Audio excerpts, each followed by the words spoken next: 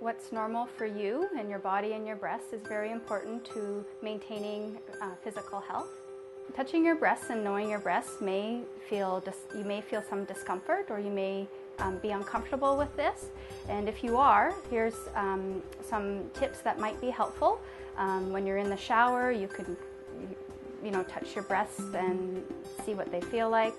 Uh, you can put some lotion on um, when you're lying down in bed. Might be a good time to um, know what's normal for your breasts.